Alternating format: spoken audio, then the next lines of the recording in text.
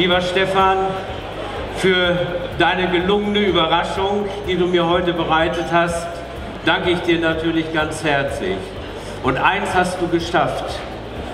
Das, was mein Stadtrat schon seit Jahrzehnten eigentlich will. Du hast mich sprachlos gemacht.